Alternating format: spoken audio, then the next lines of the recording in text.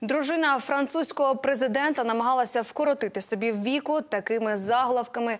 Пістрявіють французькі медіа. Видання Le Point переконує, що Валері Трієрвейлер потрапила на вихідних до лікарні, бо наковталася пігулок. Про це журналістам нібито розповіли родичі президентської пасії. Цивільна дружина Оланда буцімто дуже засмутилася, коли почула плітки про адюльтер свого чоловіка з акторкою Жулі Гає і перебрала із заспокійливими колеги ж Лепойнт наводять інші дані. Нібито у Валерії лікарі виявили низький тиск і сильну перевтому. Нагадаю, історію про роман Франсуа Оланда опублікувало минулого тижня видання Клозер. Ані президент, ані ймовірна коханка жодної плітки про себе не підтвердили.